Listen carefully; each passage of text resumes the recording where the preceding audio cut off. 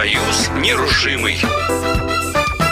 Все так, в эфире программа «Союз нерушимый». Здравствуйте, уважаемые слушатели, здравствуйте, уважаемые гости, которых мы сейчас, безусловно, представим. Здравствуйте, Азиз Алиевич Агаев. Здравствуйте. Добрый Здравствуйте, день. Мы с вами друзья. месяц не встречались в этой студии. Да вы что? С чем это связано? Связано с отпуском? Да нет, связано с горестными А, событиями. хорошо, не будем затрагивать эту тему. Ну, м, наконец-то мы собрались все-таки все вместе здесь. У нас действительно союз нерушимый. Мы продолжаем затрагивать тему культуры, обычаев, традиций, э, народностей, населяющих наш регион, Кировскую область. И у нас сегодня, знаете ли, очень вкусная тема. У нас сегодня вкусная тема, потому что мы выбрали тему кухни. Национальная кухня русской, азербайджанской и, И татарской. татарская, Вот да. так вот. Слушатели, пусть у вас с этого момента начинают течь слюнки, что называется. У нас И- из блюд, представленных за нашим круглым столом, ну, не так много, но большое спасибо э, Лулуру Гусейну за то, что вот восточная азербайджанская сладость, одна из самых известных... э, Пахлава. Пахлава. Это сладость, да? Да, конечно. Да, сладость. Ну, кон- кондитерское изделие. можно Причем азербайджанская пахлава. Пахлава есть узбекская, турецкая. Я не знаю, татарская есть? Арабские, арабские. Ну, он восточные блюда, в принципе, на разные. И в Иране делают. Я прошу прощения. делают. Давайте все-таки представим всех. Вот с Элунура начал. Эл- Элунур Гусейнов, член Общественной палаты Кировской области, президент Кировского благотворительного фонда «Азербайджан». И именно он сегодня будет отвечать у нас за азербайджанскую кухню там главным образом. Добрый день. Постараемся. Да, вы уже Да. слышали голос Габдунура Хаджи Камалуддина, муфтия Вятского с 1999 года по 2013 год. Он сегодня у нас отвечает за татарскую кухню. Почему? Да потому что в свое время э, в Ижевске вы, Габдунур, получали образование по технологии приготовления пищи. Да, я зак- учился в Ижевской технику советской торговли, тогда еще техникум был, да, в принципе, да, действительно, я учился на технолога по приготовлению пищи. А в январе этого года вы в нашем городе открыли кафе да, татар- я, татарской кухни. да, татарской кухни. В принципе, это на основе татарской кухни, это был фастфуд, в принципе, в центральном рынке, но я сейчас уже там закрылся. Скоро будущее, ну, скоро, в ближайшее время, буквально за неделю, собираюсь открываться у танка, э, новые, э, тоже, в принципе, направление татарской кухни, ну и, в принципе, некоторые блюда, которые известны всем, например, как лагман. Так, а по- поподробнее обо всем чуть позже. Так, Еще давайте гостья. представим, да, наша третьего гостя, Алиевич, Ирина? Ирина Трушкова. Д- Добрый день. Да, член рабочей группы по межнациональному и межконфессиональному сотрудничеству Общественной палаты Кировской области, доктор исторических наук, профессор, заведующий кафедрой антропологии, этнологии и культурной антропологии. Да, ну да, и да, специалист сегодня, да, специалист сегодня по русской национальной По кухне. русской, да, Добрый можно день. по финно-угорской кое-что Ну, добавить. честно говоря, для меня это неожиданность, что вы э, и в кухню тоже эта сфера ваших интересов, как потому бы, что в нашей студии да. встречались по далеким темам. Ну, часть э, любой культуры этнической – это национальная пища, национальная кухня, поэтому если мы изучаем народы в целом, это один из компонентов культуры каждого народа. Ну, давайте уж мы с вас начали, буквально вот две минуты об основах русской национальной кухни. Можно ли тут вот известную поговорку применить «щи да каша, пища наша»? Ну, в принципе, можно. Это такое как бы расхожее это самое словосочетание, некая формула такая. В принципе, русская кухня, она, с одной стороны, похожа на разные славянские кухни, с другой стороны, в ней есть региональные отличия. Я предлагаю как бы больше остановиться... Славянский, я напомню, что у нас три ветви славян. Да, да, южная, западная, западные и восточная. Восточная, да. мы как раз, мы, мы как раз восточные. Русские это восточные, как украинцы, Украинцы и белорусы, да. да. Вот, ну и э, э, русский народ, он занимает такую большую территорию, поэтому в его кухне тоже есть региональные отличия. И можно остановиться именно на вятских традициях кулинарных. Вот, ну что тут можно сказать? Ну, наверное, вот и у русских вятских, как и у других народов, и в других частях а, русского народа, а, кухня это экологически чистая, это вообще здоровый образ жизни. И если бы вот... а, То, что вырастили, то и на столе. да, да, да. Никаких там, конечно, нет химических добавок, ничего не было, поэтому люди жили очень долго иногда. И- Нет, вот давайте так. Ну. Мы говорим вятская кухня. Да. Первая ассоциация. Пер- ну, вятская кухня у русского населения – это прежде всего разные виды хлеба, основанные на черном хлебе. А Ржаной хлеб да, ржаной и картошка. хлеб. Нет, ну до картошки давайте потом по чуть дойдем. Значит, ржаной Картошка хлеб. чуть- да, картошка чуть позже появилась, да, да. да. Мясо, мясо. аспекте. Ржаной Потому хлеб- что холодно. Да, нет, ржаной хлеб это группы вит- витамины группы В, а вит- э, группа В витаминов отвечает за иммунитет, поэтому если есть большего, больше черного хлеба, понятно, что что здоровье будет лучше. Да бог с ним с витаминами. Я про- простой человек, мне вкусно поесть. Да, давайте да, вот да, нет, ну давайте дальше, ржаной значит. хлеб, вот потому что многие любят ржаной Да, хлеб. черный да, вот. хлеб это же наше все, как Да. бы белый Хорошо, не очень, а, да. а дальше что? Ну, дальше, э, дальше, это давайте. дальше. Потом разные блины, пироги. Вот, Вот сколько мы тоже, ездим да. в экспедиции, и с нами, если ездят наши иностранные коллеги, они эту тему русская вятская кухня так любят, потому что они ее любят на практике. Все кушать, пробовать, все экологически чисто, им очень интересно. Потом, конечно, вот эти супы. Очень много второго как такового не было. Были супы, очень а, большое количество там начинки, так скажем, овощей, вот картошки, Ну, это тоже щи, мясо щи, да? кусками, Ну, это да, вот Со когда сметаной. европейцы в гости приезжаешь, и супы там начинаешь варить, они таких супов и не знают. Да, у них одна есть. вода, Вот, суп там, да. там две морковинки плавают, Да, квадратики. Но вот смотрите, они еще говорят, что вот э, называют блины панкейком, говорят, это от нас вообще блины. Нет, ну как бы пусть так говорят, мы, мы с нами знаем про себя.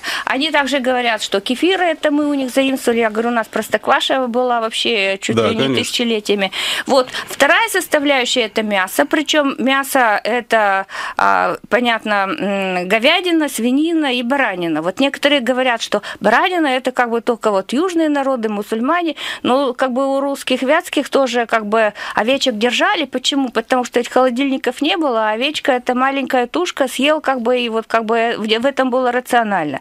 И потом его в в русской печи так парили, что и даже баранина была мягким мясом, а не так, что вот считается, в- что она раз- в да, разваренном разварена. виде таком, да. И еще большая составляющая русской вятской кухни это кисломолочные, не просто молочные, а кисломолочные продукты в разных ипостасях. Вот я говорю, тут иностранцы тоже как бы для них это рай.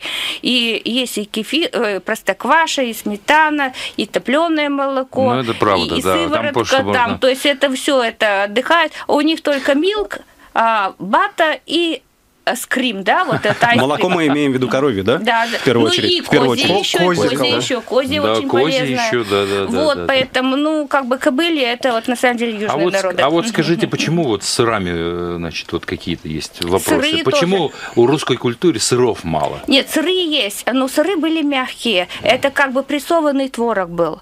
И, и даже вот а, сыр по-вятски, вот в Котельническом уезде написал, на- называли грудки. То есть очень такой спрессованный творог, и его заворачивали в марлю, и как раз вот был такой мягкий диетический сыр. То есть, Грудки, это походит на, на женскую грудь? я не знаю. В общем, а, ну, тем не менее... Вот, э, Сегодня у нас культура еды. Я вот Ирина, Юрьевна, я поддержу. В Элнур, Азербайджане, в Азербайджане тоже есть сделано из э, молока, э, груд называется таки. Его как бы э, ставят э, перед солнцем, сушится, и потом зимой растапливают. И Курт как еще назвать. кюрт, гурдук, вот это... То есть, смотрите, у разных народов а, рациональное похожее, да? и там вот. тоже на женскую грудь похоже, кстати. Ну, может быть, молоко, кормящая мать, как бы, вот, может быть, из-за этого, то есть, как бы, да. То есть, видите, если мы бы сохраняли этнические свои традиции, традиционные ценности, как сейчас говорят, даже в питании, может быть, мы были здоровее, вот так. Юрьевна, Ну, а ну. можно вопрос? Вот, Ну. э, Да, еще один, и будем мы уже к татарской кухне переходить. э, вот приезжает к вам дорогой гость. Вот, вот первое, что на стол? Ну, сейчас-то мы уже как бы современные люди, люди, что на стол, как бы современные традиции. А раньше вот а, в русских вятских традициях, конечно, вот на свадьбу были большие столы. И средний крестьянин, у него на свадьбе было несколько перемен. Это не просто что на стол, а вот, например, какие-то блюда стоят в количестве 10 штук, и вот а, разновидностей, и полностью их 10 менять разных, вот, например, да. То есть вот столько было вариантов разных кушаний. Вы знаете, если проводить параллели между русской и э, азербайджанской кухней, между русской и татарской Татарской кухней, то кухней. много общего, в первую очередь, конечно, с татарской кухней. Но ввиду того, что Лунур, наш гость Гусейнов, собирается покинуть нас минут через 15, вот я прошу прощения у, Габ- у Габдуну- у Габ- Габдунура Камалдина, хочу все-таки вот об основах азербайджанской кухни, в первую очередь, поинтересоваться у Я Лунура. Ты очень хорошо сказал, что есть схожести э, как раз и русской кухни, э, культурой кухни, да, азербайджанской. В том числе мы тесно побратимы народы с татарами. Там, потому что они тоже относятся к туркоязычному, скажем, э, течению, и азербайджанцы тоже, да, э, оғузским туркам мы подчиняемся, а, А мы тут кипчакским. кипчакские тур- ту- турки, Как у, у славян три направления, у нас где-то много их, но Э, основной это там кипчакский было- и д- основной два. У славян как вот три ветви, да, слав- Да, ну славянства. у, у Там тюрков эти это были два. братья, а, один э, Ауз- а аузку тюрки. турки относились, э, вот этих братьев ушли, там по географическим потом э, ценностям их поделили, там кыпчакские турки, аузку турки, вот мы братья Мгм, практически, очень много схожи, даже язык у нас схожий. Иногда Хаджи говорит Ну, по-татарски, я Тюбетейка у нас понимаю. одинако с азербайджанцами. Короче, давайте, давайте, Хорошо, давайте, кухня. давайте кухне. К еде. Учитывая вот те моменты, вот, знаете, в Азербайджане постсоветское время и сейчас тоже около 112 тре сейчас уже прибавляется, там китайцы, индийцы переехали, уже оседлый образ жизни ведут в Азербайджане, да, там является демократической страной, около сейчас 115 народностей живу- проживает, из каждого что-то взять в свое время, а деревным народами, как я говорил, что являются оғузские турки, хазариты называли нас. Э, Вот э, оттуда как раз многие, э, многое как бы сохранилось, кухни до наших времен дошли. И сегодня я уже видели, как сладости, да, здесь представили, пахлава.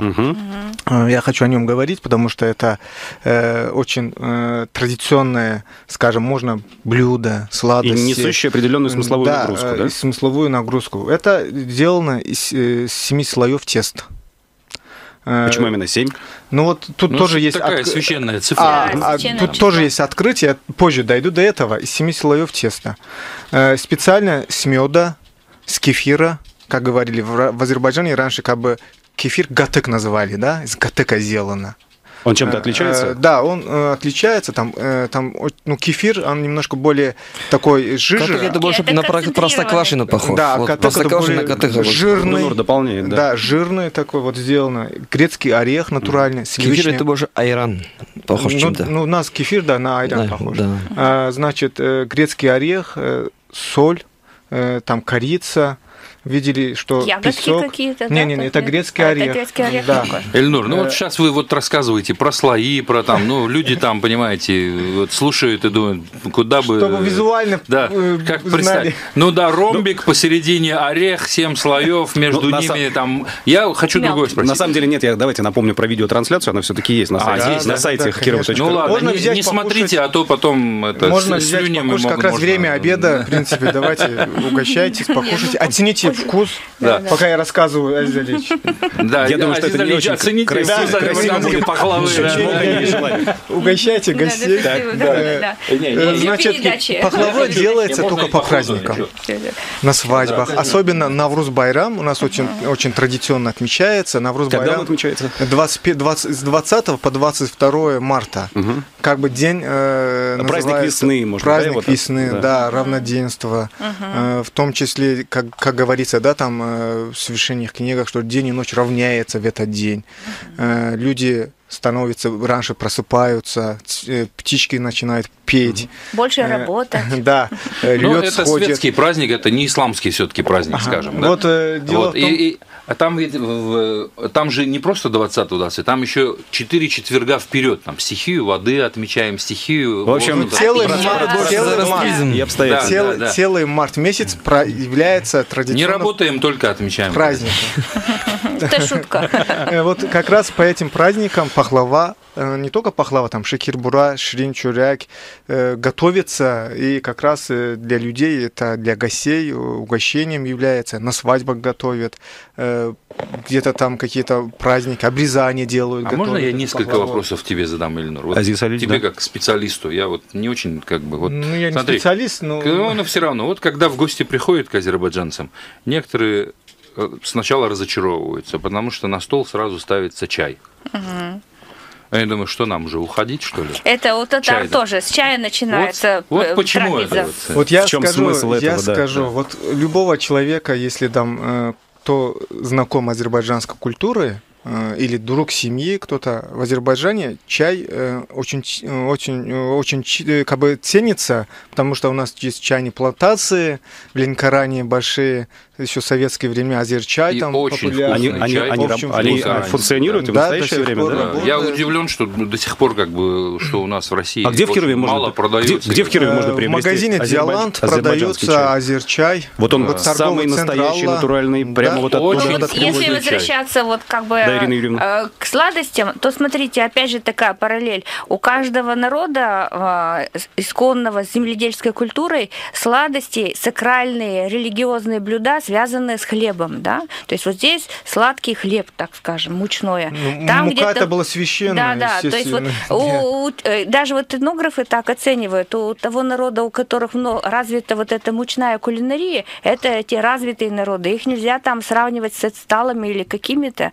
Вот Которые собирают, что попало, и там да, из да, чего и попало, готовят надо себе пищу. как бы цивилизовать или там ими Вот, руководить, вот, да, Ирина вот. А у тех, у кого вот э, э, сакральная пища э, связана вот с хлебными, с злаком, с зерновым, это они очень развиты, у них старинная культура, и в принципе э, и не надо им навязывать ничего свое, они Вот. сами давно-давно цивилизованные. Вот, и я вот к этому скажу, что азербайджанская кухня очень развита. Так вот учитывая, мучная культура. Да как учитывая то, что в Азербайджане, в Азербайджане вот да? пахлаву очень по-разному тоже готовят, разные районы, разные традиции и по-разному готовят. Э, Вот есть генджинский пахлава, совсем другой вкус. Есть шикинский пахлава. Это что, что означает Э, эти слова? Э, Это Ну, как это бы местный, это, А, город, Ага. бывший Кировобад, Генджа. Там генджинский пахлава совсем по-другому готовится. Там на меде все очень вкусная пахлава, различается. Это традиционно азербайджанская пахлава, все народы готовят. А есть еще шикинская пахлава, тоже там из стружки сделана, она похожа немножко на турецкую пахлаву, Ну, но то, тоже очень, близко, да, да? вкусно, так что там, там миндаль, здесь орех, а там миндаль вставится. Э, Так что приглашаю, в принципе, можно кушать эту пахлаву в кафе Диаланде в Кирове, и спасибо кафе Диаланд, они предоставили пахлаву мне, вот Спасибо, безусловно. их. Да, безусловно. Ну и однажды представители все-таки сотрудников кафе Тиалан мы тоже будем ждать, потому Да. что на кухне можно говорить очень долго. И главное пробовать. Я все-таки хочу скоро дать слово Габдунуру Камалудину, но перед этим вот мы начали с пахлавы, да, со сладостей. Может, давайте что-то посытнее это что-то. А пельмени, бе- например, Нет, безусловно, пельмени? баранина. Баранина, вот я, я скажу... Свинина нельзя. Не, в Азербайджане, э, учитывая, что большинство населения мусульманы э, из шиитского течения, да, там свинины практически не едят. Но есть там определенные, э, как бы, места, э, населенные пункты, там до сих пор Советский Союз остался, там есть, живут молоканы, которые переселились все Ну, да, давайте назовем. У нас есть в Азербайджане единственный колхоз. Да. Колхоз, который Ивановка. остался только под гарантию президента Алиева, потому что такой организационно-правовой формы юридической нет. И, но, тем не менее, называется колхоз имени там кого-то, кого-то. Это село Ивановка Исмаилинского района.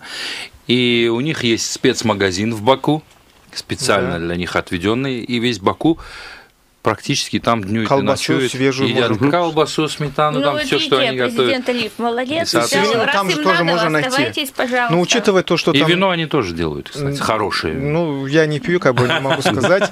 Вот э, там э, как раз э, что все сделано определенно на баранина, говядина, курица. Ну, и в том числе, учитывая, что Азербайджан еще рядом э, Каспийское море, через Рыба. дорогу, Рыба, рыб, да. рыбное очень э, блюдо, э, р- как бы расширенное э, место удается. А то, что вот мы готовим, самые сытные, э, вот Ирина Юрьевна говорит, супы, пяти готовим. Пяти это из баранина делается, э, мясо баранина, курдук где баранины. да? Практически Да. тоже как печеное в печи получается. Да, да, э, в кюрдук и специально э, Кюрдук глиновый- это... кюрдук баранина курдук. Мгм. Э, Курдюк. э, Курдюк, да. Там горох большой ставится туда и кусочек там, может быть, картошки э, на любителя, да. Горох Это печется, печется мгм. печи глиновой чашки. И получается изумительный нас вкус. Я готовят. помню, мы верно. позапрошлом году с Хаджи Габдунуром пробовали. Я Неч- помню, нечто, в, нечто в горшочке, Да, да? да, Да, как в таком Это, горшочке. это одна порция на одного Вот человека. на одного видите, человека Так одна далеко порция. народы живут, а изнутри столько много общего, да? Ну, Вот давайте еще несколько вот ос- основ- основных один? блюд азербайджанской Вот, вот кухни. я хотел вот Да. спросить, Эльнур.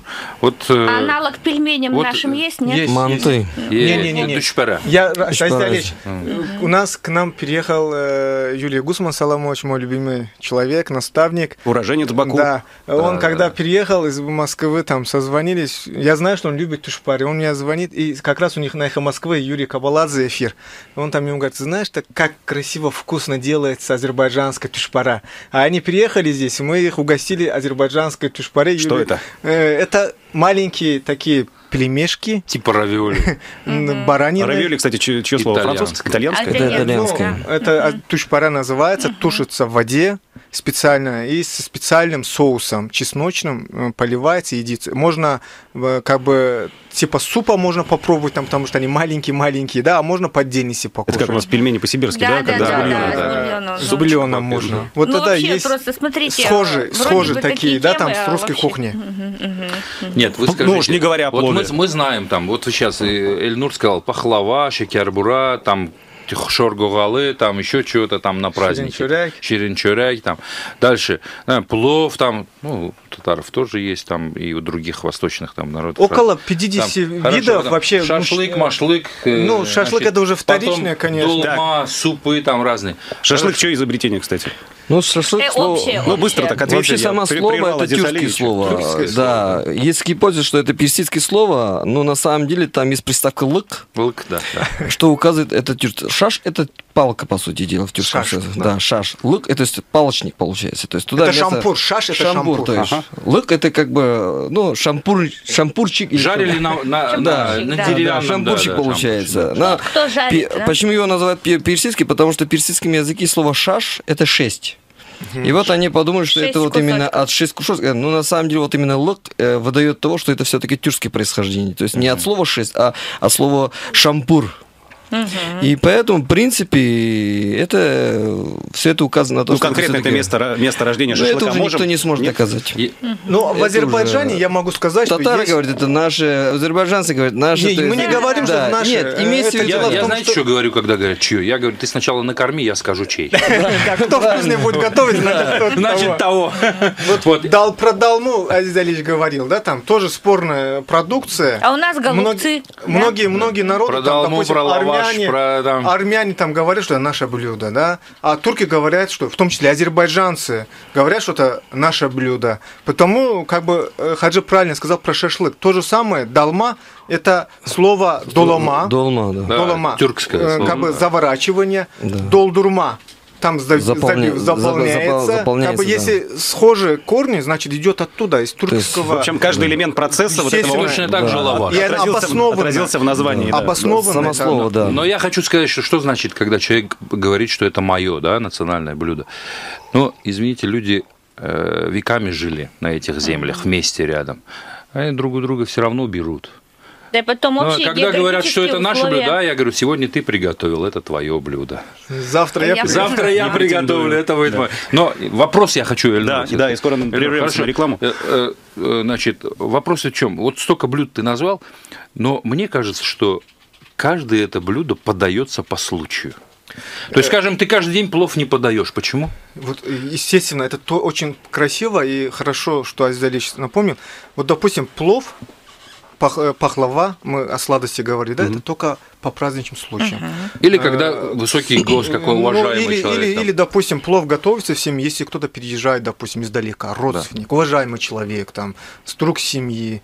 Это в честь, уважение плов всегда в каждом азербайджанском доме готовится. Если любой гость переехал без плова, пока вас не покормит, чаем не напоит азербайджанским так вкусом, же. и не, не будет пускать. Скажем, надо обязательно пробовать э, а- а плов. Кроме плова еще много видностей готовится. Азербайджане вообще там развито в этом случае, да, там одним блюдом домой заходишь, в любой дом зайдешь, если в гости идешь, заранее готовится. А когда долгожданный гость, например, обязательно барана у ног, значит, Да. Долгожданный это тот, которого давно-давно звали, звали, дают. звали, он А? наконец.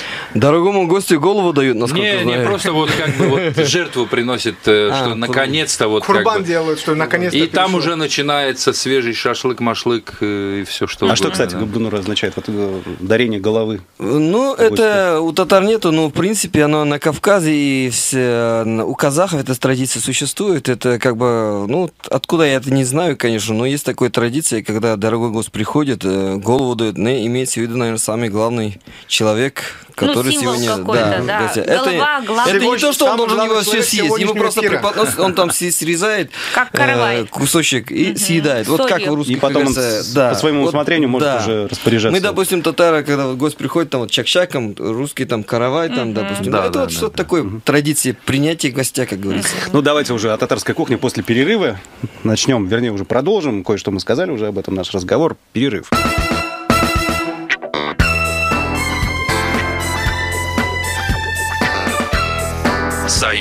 нерушимый.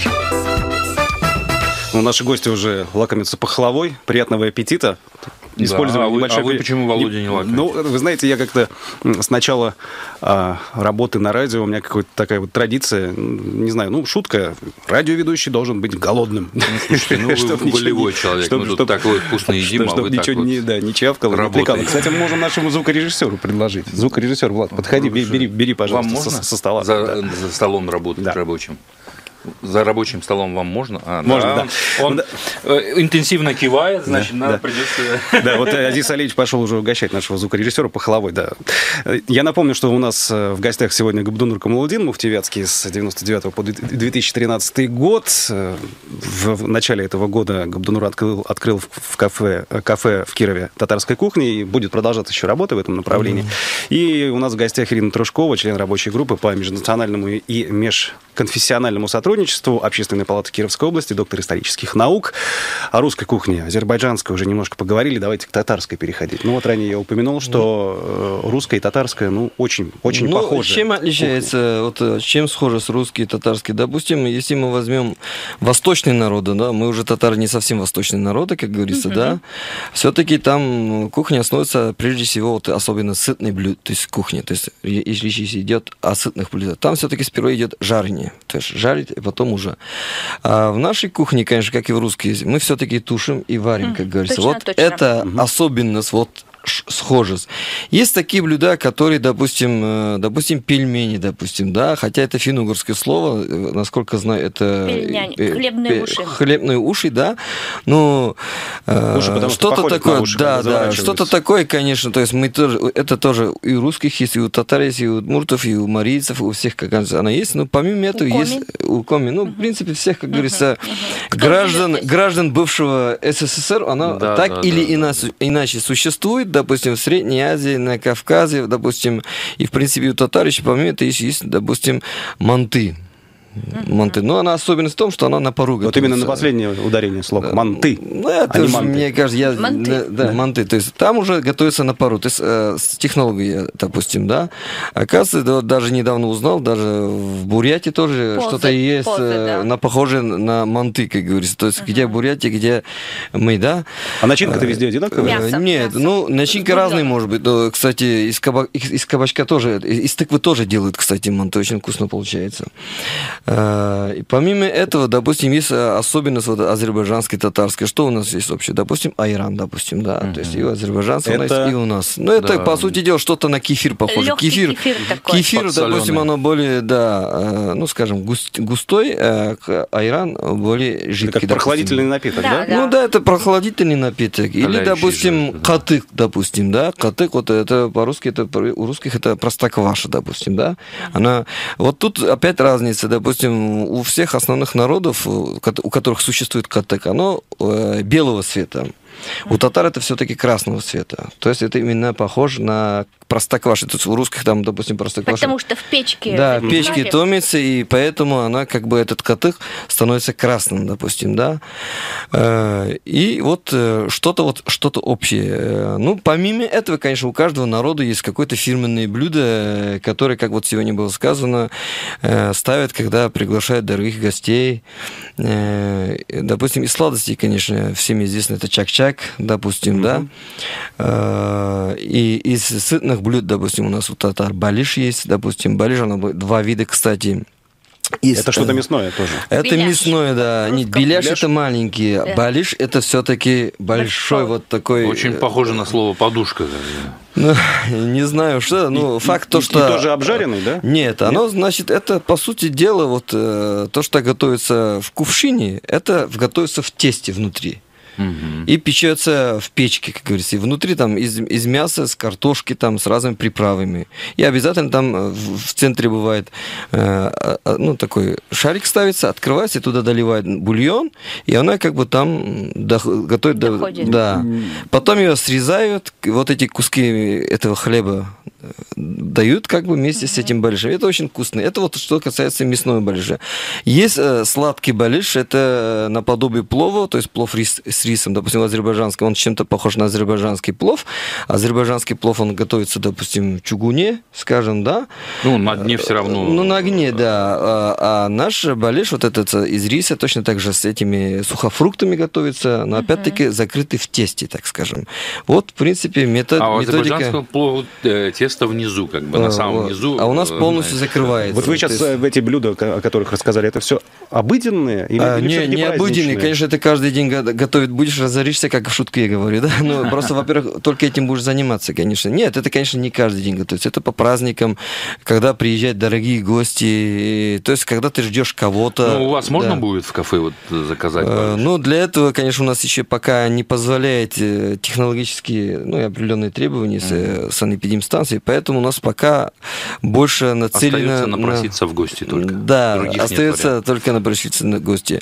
Естественно, кулина, то есть э, мучные изделия тоже у татар очень много, допустим, да, вот, э, в принципе, сегодня известный чебурек, допустим, мало кто обращает внимание, даже у э, э, этого... Это шутки тоже есть. тюркское- Да, тюркское это блюдо, золотородинское, татарское блюдо, в принципе, оно очень сильно распространено у крымских татар, в принципе. Э, Оно, допустим, даже э, есть даже шутка, там, там этот один из э, юмористов назвал, из, из забытых рецептов Золотой Орды, так называемый, да? А, а по- почему именно вот, вот, вот чебурек вот именно такую-то форму получил? Вот обязательно тесто постное, раскатанное, туда Э, мясо, Оно не, не постное, она именно э, с, кипятком его обжарить. Тесто готовится с кипятком, то есть именно наливается кипяток. Кипяток вливается, да, да, да. То есть не холодная вода, не- именно кипятком делается. Ну, почему это нас спрашивают тех, кто это сделал? Это, скорее всего, практичнее было, потому что человек идет по степи, как говорится, да? Да, ему э, Быстро надо какие-то острые да, и да. эти самые большие, большого объема какие-то залежи Да. пищи трудно носить, а здесь оно такое рациональное по форме и питательное. А, кстати, чья кухня а, практичнее в том плане, что вот быстро-быстро... На походы. Быстро-быстро На приготовить, походы. Нет, у быстро-быстро всех народов приготовить и есть, быстро Ну, на походу, я могу сказать, на походу подходит козы, как говорится, татарская колбаса. Но это стандартно, потому Да. что вот козы, вы давайте вспомним, сухой сыр, Да. там, да, су- сухой хлеб, как бы, вот, чтобы там Да, да, да. намочил и... Ну, это уже Ну конское вот мясо. смотрите, друзья, еще что у нас Да, всплывает, Э, Юрьевна, А, вот, простите, а, да, да. ничего, все нормально, что вот, а, когда сейчас мы говорим о истинных там а, традициях татарской кухни, а, и все, наверное, зрители, слушатели наши говорят, вот беляш, беляш, там вот чебурек тоже как-то. Смотрите, как вот блюда разных кухонь вошли в наш общий рацион, э, пусть даже с переделанными названиями, но мы вот, наверное, наверное многие едят эти беляши, там в Донаре покупают или где, и не знают, что это вот а, для каких-то наций исконная пища. То есть так у нас все уже Хорошо. перемешалось. Поэтому у такие нас уже союз соседи. нерушимый. Да, Да. вот и видите, все хорошо. Кстати, мы вот о праздничных блюдах, да, в татарской А кухне, в азербайджанской, да? да. Повседневная более в русской, в русской это да. национальная. Ну вот на самом деле Нет, я повседневная име- пища нет, я имею в виду это щи да Я каша. имею в виду да. праздничную. А праздничная это большая выпечка, это Вот. тоже этот же суп, а рыбные, рыба как э, священная такая пища и там жители реки, то есть вот тоже, а, то есть очень вот э, мясная выпечка, вся эта молочка, а, везде эти ягодки, какие у нас тут росли, грибы, то есть в большом и в более, там, скажем, трудоемком исполнении. А повседневная пища, правильно тут вот сказали коллеги и друзья, что каждый день так не будешь готовить, надо идти в поле работать и там другие дела делать. Поэтому все попроще. Попроще, ну, то же самое. Мясное, мучное, вот это щи да каша. То есть хозяйка наваривает щи на сразу на целый день, хлеба она делает на несколько дней печет, то есть вот чтобы экономить силы для работы. А когда праздник, вот тогда уже более трудоемко. Ну, насчет э, по- по ежи- ну, э, обыденный день, когда кушают, в принципе, у татар, конечно, это точно как и у русских, это был суп, конечно, да, но опять-таки у нас у татар был более проще суп. Это, в принципе, сегодня все знают домашняя лапша, Мгм. который покупается уже, в принципе, в магазинах продается. Это, в принципе, чисто татарская кухня была. То есть, чем она была практична? Это, по сути дела, бульон кипятил, то есть взял, скипятил бульон, э, лапшу нарезал, просушил, вот он лежит где-то. И она буквально взял бульон, прибежал с поля, как говорится, поставил кастрюльку, как говорится. э, Через час все готово. да, не через час, через 15 минут, по сути. Главное, чтобы бульон скипел, положил туда эту лапшу, тукмаш мы ее называем. И, по сути дела, готово. То есть, естественно, оно и в праздник у нас татар кушает, и, в принципе, ежедневно, то есть, вот, А как вы обыденно. сказали лапша по-татарски? Э, тукмаш. Ту- Отсюда от слова фамилия Тукмачев. Тукмачев. Да. Ну. А это, А, кстати, наш редактор Анна слово- Лапшина. Привет. Кстати, кстати, вот этот От Тукмачёва. что, что интересно, э, кстати, некоторые названия блюд происходят от каких-то, допустим, чак-чак, из чего происходит? Потому что, когда его бросаешь жир, э, чак, так, то есть, ну, да, Брызгает, да. Звук издает, Да, да. об этом И должен от был этого раньше называют спросить, да, чак-чак назывался, чак-чак, да? Тукмач это от слова, то есть ты ножом быстро-быстро стучишь, как говорится, тук-тук-тук-тук, и от этого произошло, как говорится, тукмаш. Вот, в принципе... Тук это звук, а матч это э, как бы да. характеристика того, кто издает это. Уважаемые гости, у нас время безумно летит. У нас еще вот э, должны мы в конце дать слово э, Габдунуру Камаладдину по немножко другой теме. Я хочу вас спросить, вот и раз мы об быстроте уже заговорили, быстроте приготовления пищи, в исламе отношение к фастфуду? Э, Фастфуду, э, понятие, когда про алейхиссалям пришел, понятия не было понятия фастфуд, да, это современность. В принципе, да, э, быстро приготовить, ничего страшного нету. Ну, быстро есть, конечно... Я имею в виду заведения, которые традиционно позиционируют себя как фастфуд. А, Так таких не было ведь раньше. Да, в Как? то же время этого не было. Задача только в том, что по исламу, чтобы там не было свинина, там не должно быть спиртное, там не должно быть всякие блюда, которые действительно может вредить твоему организму. В принципе, вот позиция такова. То есть, с этой точки зрения можно сказать, что некоторые фастфуд все-таки неправильные блюда. Потому что вредит здоровью. Давайте еще буквально вот минуты, полторы, да, э, Габдунур. вс- Наши коллеги, ну, я имею в виду «Эхо Москвы», э, столичная, тут, безусловно, говорили на эту тему. Я имею в виду решение судьи Южно-Сахалинского суда Натальи Перченко по поводу признания экстремисткой книги «Мольбы Мольба к Богу, ее значение и место в исламе. Вы как ну, такую официальную позицию по Ну, этому что я хочу сказать. К сожалению, сегодня вот э, некоторые вот на имени ислам хотят себя зарекламировать. Э, Прежде всего, выносить те или иные решения э, по той или иной книге, допустим, да, человек должен быть специалистом по этим. Вообще значение этой книги в чем заключается? Ну, мольба – это обращение к Богу, как говорится. Там, в принципе, действительно, к сожалению, не только эта книга, много книг были в свое время э, запрещено, включено даже экстремистские, даже мне в мечеть приходили, даже была такая интересная ситуация. Э, Один из книг меня когда обнаружили, э, и он был включен в список экстремистский, и когда открывают ребята из силовых структур, а там написано, переведено в Академию наук Российской Федерации, допустим, да?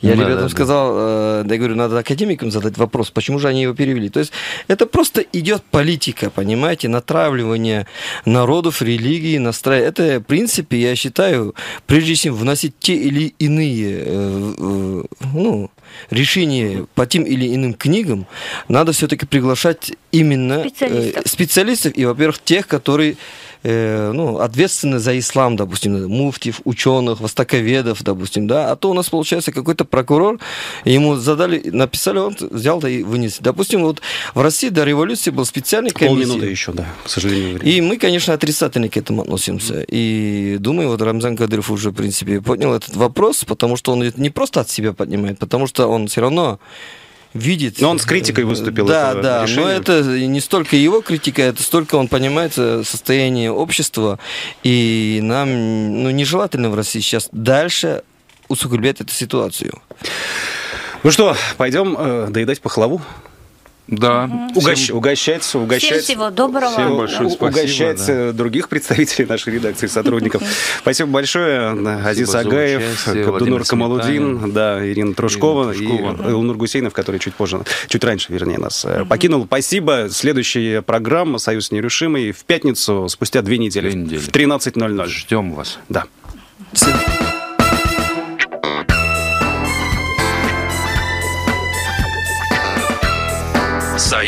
нерушимый.